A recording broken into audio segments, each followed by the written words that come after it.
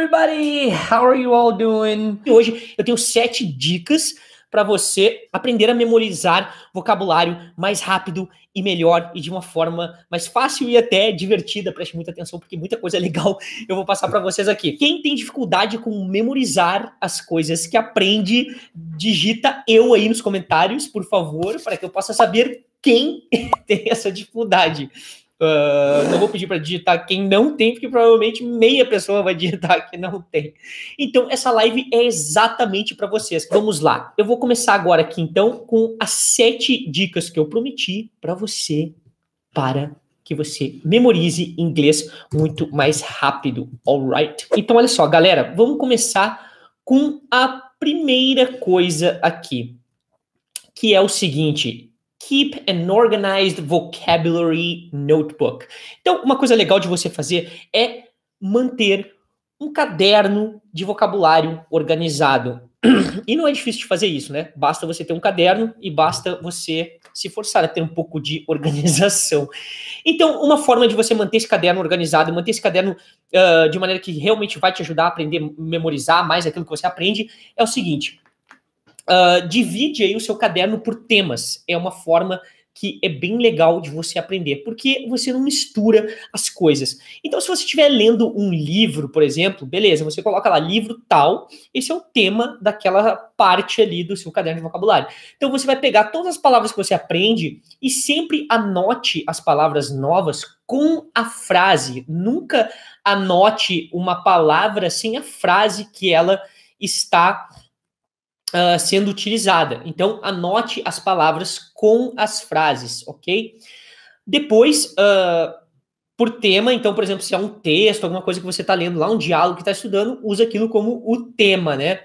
E aí, depois, você pode pegar, por exemplo, assim, dentro do quarto, né? Aí você pega um dicionário, sei lá o okay, que, e começa lá, uh, wardrobe, né? O armário uh, closet, você tem aquele walk-in closet, que é um negócio que entra dentro, que é um guarda-roupa que você entra para dentro, né? Walk-in closet. Hoje em dia já é bem comum esse vocabulário no Brasil.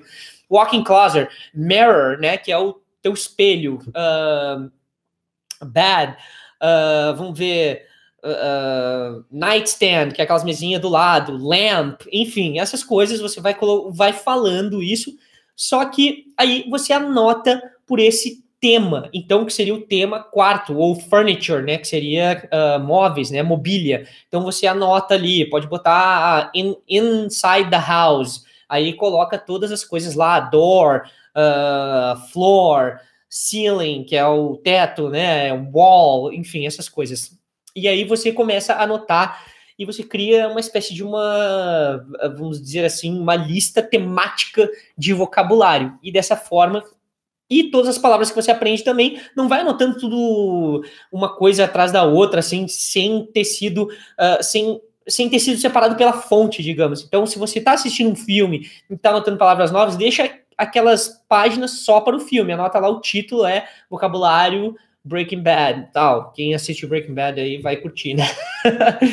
a próxima, segunda dica, que é a dica número dois, é revisar todos os dias, né, se possível, ou no mínimo uma vez por semana. Sei lá, vamos lá, você encheu lá quatro, cinco páginas, revisa aquilo no mínimo uma vez por semana para você. Depois revisa na semana seguinte, né? Aquela mesma coisa e mais as novas que você aprendeu, vai revisando. É legal também você fazer anotações ali da pronúncia. Tem gente que fala, né? Ah, não anota a pronúncia aportuguesado ali que se diz, né? Que é você pegar e, por exemplo, escrever will, né? Escrever will, né? Mas isso é legal porque o que acontece? Às vezes você olha o seu caderno e não sabe como pronunciar, daí não adianta nada você memorizar aquilo, mas com a pronúncia errada. Pelo menos você anota como se, como se fala a pronúncia mesmo em português, para você ter uma ideia de como se pronuncia aquilo, né? Para você lembrar de uma forma melhor. A nossa dica número 3 de hoje é o seguinte: ler e praticar uh, diálogos em inglês. Então, leia diálogos, porque os diálogos eles são textos curtos, né? E eles trazem muito o que realmente é utilizado na conversação.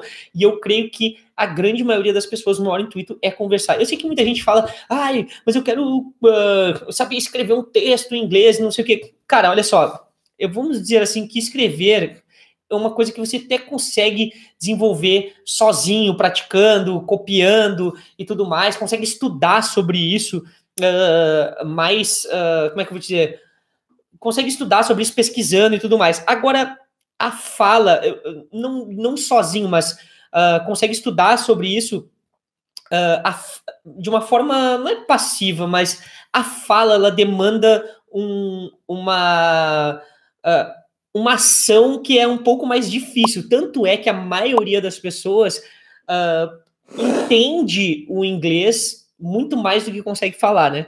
Por quê? Uh, ou, porque as pessoas terminam praticando o ouvido e às vezes até a escrita muito mais do que ah eu leio muito bem eu escrevo ou, e eu escuto muito bem mas na hora de falar as pessoas não conseguem então se fosse para você tentar o mais rápido possível dominar uma, uma, uma habilidade, seria a habilidade da fala, porque é onde todo mundo tem a maior, entre aspas, dificuldade. Mas não é porque tem dificuldade, é porque realmente a fala exige a exposição, né? Você escutar uma pessoa falando inglês, treinar o seu ouvido, não exige exposição nenhuma. Vai ficar quietinho no teu canto ali, escutando, e não tem exposição nenhuma. Então, a fala em si, ela tem... Uh, essa exposição, né? Então, o que acontece? Você precisa, né, uh, fazer isso. Você tem que utilizar uh, essa questão de você praticar bastante a fala para conseguir uh, desenvolver essa habilidade que é literalmente a habilidade que as pessoas mais querem, por mais que muita gente aí fala, né? Ah, mas uh, eu não importo, que não sei o quê. Cara, a habilidade que todo mundo quer é conseguir conversar. E eu tenho certeza, a maioria das pessoas, se eu pudesse jogar pela janela qualquer habilidade com inglês, eu jogaria todas menos a de conversar. Porque Claro que com certeza, e depois que você conversa em inglês, cara, fica muito mais fácil até para você uh, ficar pesquisando sobre outras coisas e tudo mais. Então, é, é, isso que eu, que eu gostaria que vocês entendessem. Não é que eu estou dizendo que não é importante ler, com certeza é, porque eu estou dizendo aqui uma das dessa dica que eu estou falando agora, justamente, é a questão de você ler em inglês. Então, isso é bem importante, né? De você ler, e principalmente diálogos, porque você quer ter noção daquela linguagem que é utilizada uh, todos os dias pelos pelos americanos, por quem quer que seja, né? Então, isso é uma coisa bem legal. Partindo para nossa próxima dica, então, aqui. Dica número 4. Use novas palavras, criando diversas frases iguais, é, variando uma única palavra. Eu vou explicar o que, que é isso que eu estou uh, querendo dizer aqui. Para você. Uh, por exemplo, treinar palavras novas, uma forma bem legal de você fazer isso é o seguinte: você pode pegar cinco, seis palavras, tá? Você pega uma frase que você já sabe, que você conhece. Então, eu vou dar um exemplo bem simples aqui. Vamos dizer que a gente vai treinar aqui as, uh, as nacionalidades e os nomes de países, né? Então, vamos lá. Eu pego a frase, o seguinte: eu quero dizer, eu sou uh, brasileiro, americano, canadense e eu quero te perguntar se você já esteve no Brasil, no Canadá ou nos Estados Unidos, né? Então, como é uma forma de você fazer isso? Você vai treinar as nacionalidades. Então, você vai pegar essa frase, por exemplo, I am nacionalidade, e vou perguntar, have you ever been to país? Então, por exemplo, eu sou brasileiro, você já esteve no Brasil? Então, é uma única frase, né? Duas, na verdade, mas enfim, é uma única coisa que a gente vai usar e vai ficar só substituindo as nacionalidades e o país. Então, olha só. Por exemplo, I am Brazilian. Eu sou brasileiro. E aí eu pergunto: Have you ever been to Brazil?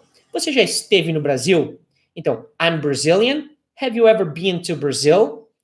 Muito bem. Agora nós vamos treinar a nacionalidade uh, japonês e o país Japão. Então eu falo, I am Japanese. Have you ever been to Japan? E aí você pega umas 10 nacionalidades e 10, I am Italian. Have you ever been to Italy? Então eu sou italiano, você já esteve na Itália. Então você pega essa frase e vai trocando e vai adicionando novas palavras. Dessa forma você começa não só a memorizar a estrutura que é uma frase muito comum, que é I am alguma coisa e have you ever been to algum lugar, e aí você, ao mesmo tempo, vai memorizando as nacionalidades e também os países. Né? Então, por exemplo, chega dentro de casa, você pode colocar lá o seguinte: vamos usar a estrutura do there is, ou there isn't, e there are, there aren't. Aí você chega lá e fala: There is a window in my room. Então tem uma janela no meu quarto. Aí você pode pensar: There isn't a garage in my house. Então não tem uma garagem na minha casa. E aí depois você parte para a próxima. There is a door uh, in my closet. Tem uma porta no meu uh, no meu closet, que seja meu guarda-roupa lá. E aí there isn't alguma coisa no meu armário. Então, there isn't a mirror in my bathroom. Então, não tem um. Como é que chama? Não tem um espelho no meu banheiro. Então, você vai usando novas palavras com essa mesma frase. Faz essa mesma frase e vai falando e vai só adicionando novas palavras. Então, pega a estrutura e aí você treina a estrutura, que é importante, e treina também uh, as novas palavras, né? Treina não, né? Mas começa a memorizar as novas palavras. Então, isso é muito legal de fazer. E agora vamos para a nossa dica número 5. 5. Utilize o Quizlet uh, com frases. O Quizlet é um aplicativo bem legal que você baixa, pode usar no, cel no, celular ou no computador. Então é bem interessante você utilizar o Quizlet. Por quê? Você pega esses diálogos que você tem isso é um dos materiais que tem dentro do meu curso. Todas as aulas têm os cartões de memória para você praticar. Então, você pega, por exemplo, um diálogo uh, e coloca lá cada frase traduzida dentro do Quizlet. E aí você começa a memorizar aquele diálogo ali. Porque o Quizlet, não só você trabalha com os cartões, ele vira, tem o áudio ali da frase e tudo mais, ele também oferece várias atividades de memorização, ou seja, vários testes para você uh, praticar até escrita e tudo mais, mas você vai ali e começa a fazer um joguinho de memória com as palavras para acertar quais são a, a tradução. Uh, tem não palavras, mas uh, palavras ou frases, mas a gente faz dentro do curso tudo com frases, né? Então, uh, você copia as frases, basta ter a tradução e ter a frase em inglês e você já consegue montar. E ele gera todos esses joguinhos e exercícios para memorização por conta própria. Basta você só colocar lá a tradução e a frase, a frase em inglês e a tradução, e o resto ele faz tudo. Ele gera automaticamente. Aí você dá um nome lá, diálogo do fulano de tal, não sei o quê. Então é muito legal e funciona bem para você memorizar uh, as coisas que você aprende, lembrar daquilo que você aprende, né? Então, essa é mais uma dica, número 5. Agora, número 6, não tente aprender muitas palavras e muitas coisas no único dia. Então, às vezes, tem gente que pega assim, ai, eu quero aprender inglês lendo jornal, sei lá. Cara, jornal larga de mão, em primeiro lugar, né?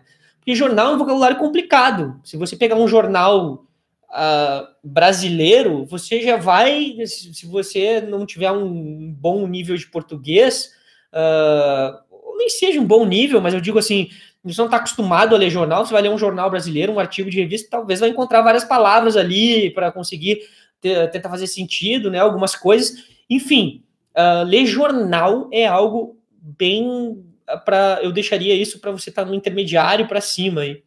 E se você está começando, o jornal não é o canal para você ler, porque vai ter muita coisa ali, referência do país, coisa que a gente não entende nem em português, assim, que o cara faz uma referência de uma lei que não sei o quê, e aí você vai ficar perdido. E o problema de você começar a querer de, estudar com coisa muito difícil é que causa uma frustração. E aí, com a frustração, você vai assistir o Domingão no Faustão, em vez de estudar o seu inglesão, e aí o negócio vai ficar ruim. então, não evitar a frustração, porque a frustração não é o inglês que causa, é você mesmo que vai fazer do jeito errado e aí acaba se frustrando, pega um saco de pipoca e vai comer na frente da televisão assistindo o Domingão do Faustão com aquele enjoo no estômago que tem que trabalhar na segunda-feira num trabalho que você odeia. muito bom. Tomara que não seja essa a sua realidade, mas se você aprender inglês, com certeza essa realidade pode mudar muito em breve. Número 7, associação. Então, a forma que você pode também aprender novas palavras é por associação. beleza? Então, como é que você aprende inglês por associação? Basta você pegar, por exemplo, existem duas coisas mais ou menos que eu separei, que é primeiro é a questão de associar, trabalhar com associação para lembrar de pronúncia, tá? Como eu, eu já expliquei algumas vezes, mas talvez vocês não tenham visto, que é a questão do, por exemplo, a palavra beach e bitch, né? Então, bitch é aquela palavra feia, tal, que chama uma mulher de, de bitch, ou alguém, se alguém chama que você é a bitch da pessoa, é porque você é o, tipo, como é que chama aquele cara, o...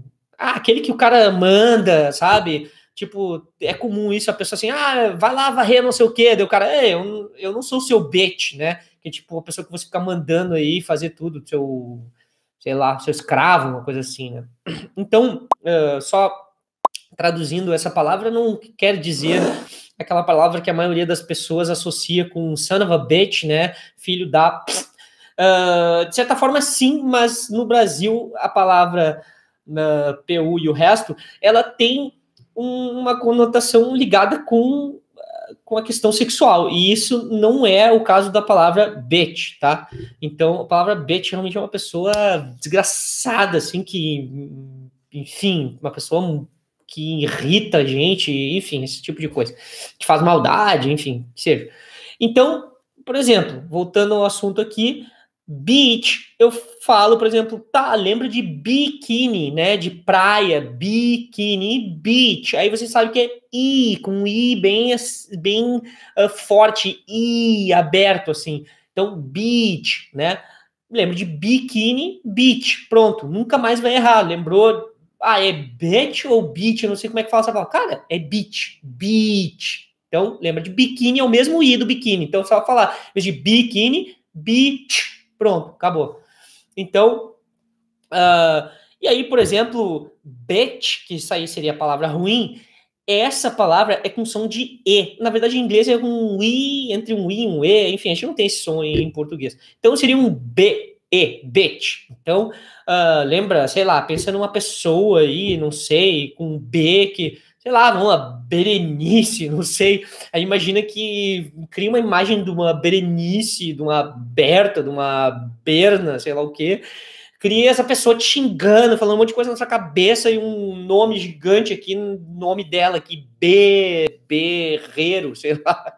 E aí você vai e pensa nisso e fica B, B, ok? Então é isso. Então essa é uma forma de você memorizar pronúncias certo? A última, que na verdade já é a oitava dica que eu tô dando para vocês aqui, mas enfim, que é uma dica bem legal, só que essa não, em primeiro lugar, você tem que limpar os seus preconceitos com o que eu vou falar aqui agora. Ah, já tá achando que vai vir polêmica, mas não tem. É o seguinte, é histórias malucas, que existe um nome para uma para essa técnica, teoricamente, mas não, não interessa. O, basicamente, o nome é esse, Histórias Malucas.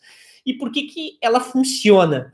Porque as coisas mais inusitadas, as coisas triviais, por exemplo, é muito provável que você não lembre. Você é muito provável que você às vezes já aconteceu de você estar tá dirigindo e aí chegar em casa e nem lembrar qual caminho que você fez, porque é uma coisa no automático ali. Agora é o seguinte, se você estiver dirigindo, fazendo aquele caminho todo dia e daqui a pouco você vê um motoqueiro batendo um carro, o cara sai voando, uh, cai em cima de um cara que tava andando de bicicleta e os dois saem bailando pela rua com fazendo malabarismo com garrafa, sei lá.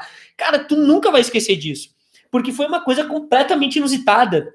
Tu vai lembrar exatamente de cada segundo e não vai lembrar de nada do resto do caminho, só daquilo. Então, esse tipo de coisa com histórias malucas funciona. É, isso é uma técnica que já é utilizada por, sei lá, milhares de anos por pessoas que memorizam aí centenas de palavras e um monte de coisa, enfim. Uh, não é uma coisa que eu inventei. Então, é... mas como ela funciona? Através de histórias malucas. Eu vou dar um exemplo aqui, tá? Porque você tem que usar a sua imaginação. Quando você cria essa história maluca, você, ela começa a ficar marcada na sua cabeça. Tem várias formas de fazer isso, mas uma, uma maneira, por exemplo, eu vou dizer aqui, ó. Digamos que a gente precisa lembrar das palavras table, mesa, né? Door, porta e chair. Eu sei que talvez a maioria de vocês já saiba o que é o significado das palavras, mas digamos que você não soubesse o significado delas, ok? Então, vamos lá. Você, por exemplo, eu vou contar uma história maluca que para mim eu acabei de criar, criei antes né, da aula aqui, mas enfim, vai criando uma coisa. Então, por exemplo, assim, o Taylor, porque eu quero lembrar, eu vou fazer nessa sequência mesmo. Taylor, table, door e chair, tá? Então, o Taylor, imagino, tem que fechar o olho ali e começar a imaginar. Imagina o Taylor, quem é o Taylor? É um cara lá, sei lá, pode ser de um filme que seja. Essa é a minha história, vocês criam de vocês. O Taylor deu um soco na parede e fez um barulho bow. E aí eu me lembro, Taylor bow, table, table. Deu um soco na parede, não era na mesa, desculpe. Ele deu um soco na mesa e fez um barulho bow. Por quê? Taylor bow, soco na mesa, mesa. Então, table. Beleza. Não precisa ser a palavra igual, é só os sons que vão te lembrando dessas coisas. Tipo, ó, o Taylor deu um soco na mesa e fez um barulho bow. Então é table. Isso funciona, cara. Eu já testei com lista de 20 palavras e literalmente em 15 minutos eu lembrava de todas as palavras com uma história muito maluca que eu criei no uh, de vocabulário em alemão. Então, por exemplo, aí table, né? O Taylor deu um soco na mesa, deu bow, e aí uh, foi uh, ele foi e chutou a porta do dormitório e quebrou, né? Então, chutou a porta do dormitório. Então, door. Eu lembro de dormitório, door. Então, chutou a porta do dormitório. Porta, door. Beleza. Então, já tenho Taylor, soco na mesa, mesa, table. Deu aquele barulho bom. E aí, dormitório. Eu sei que pode parecer meio maluco isso para vocês, mas, cara, isso funciona. Inventa uma história maluca com esses sons, início da palavra, final da palavra, com um barulho, com um negócio. E aí, continuando. Ele chegou. Essa parte foi muito legal. Quando eu inventei, eu fiquei orgulhoso de mim mesmo. Aí ele entrou no dormitório, porque ele chutou o dormitório. Uh, já tô, chutou a porta do dormitório, então, door. E aí, quando ele entrou no dormitório, ele viu quem sentado numa cadeira, numa cadeira, a Carla Pérez do El Chan. Então, e ela estava cantando um axé. Então, Cadeira, eu olhei a Carla Pérez do Chan, eu sei que cadeira tem alguma coisa com Ch. E aí ela tava cantando a Xé, Xé. Então eu posso lembrar de chair. Então, cantando axé, a Carla Pérez do Chan. Então, Chan com Xé, chair. Entendeu? Eu sei que alguns de vocês podem estar pensando, nossa, isso é impossível. Como que eu vou... Algumas pessoas vão lembrar do que eu falei aqui mas é uma história maluca. Se talvez se você hum, se eu pedir para você recontar essa história agora, você vai conseguir lembrar da história que eu falei, porque é uma história maluca. Tipo, como é que é? O Taylor deu um soco na mesa, fez um barulho bom, aí ele entrou no, no dormitório, quebrou a porta do dormitório, então porta, door, de dormitório, e aí viu a Carla Pérez do El Chan sentado numa cadeira cantando axé. Daí, Carla Pérez do El Chan com axé chair. Entendeu? Isso é muito legal de fazer e é divertido. E aí, quando você tem essa história maluca na sua cabeça, você lembra mais das coisas. Entendeu? Então, eu sei que parece meio louco, mas Uh, pode ter certeza de que isso funciona. E eu vou dizer para vocês aqui, tem, isso é uma técnica bem conhecida. Uh, tem, tem algumas coisas, não sei se não, não é exatamente é, mnemonics, eu acho que é mnemonic, ah, não sei como é que fala em português. E também existe algo que chama-se memory palaces, que são palácios de memória e que você uh, imagina na sua memória, digamos que palácios e, e, cada um desses palácios que seriam, por exemplo, você quer aprender determinados assuntos, você divide na sua cabeça uh, esses palácios e dentro desses palácios você começa a imaginar objetos e cada um desses objetos, a cada um desses objetos você uh, coloca, uh, você dá uma, uma, como é que chama? Você dá uma, uma palavra para ele, algo assim, para você ir lembrando, né? Então você fecha o olho, imagina você caminhando dentro de um quarto e a cama tem alguma coisa e tal, e você começa. Uh, mas isso também pode se tornar uma história maluca. Você lembra de a cama tem um monstro sentado que puxa um cartão, que faz não sei o que lá, enfim. Uh, Mas isso é bem legal. E, gente, vamos combinar, né? Às vezes a gente passa o dia inteiro pensando besteira, fazendo fazendo previsão do futuro que nunca acontece. Então, pelo menos, gasta o teu tempo aí inventando umas histórias malucas que vão te ajudar a aprender inglês. Alright, friends. Thank you very much for watching this. And as usual, I'll see you in my next class Instagram, in my next class YouTube. Bye bye now.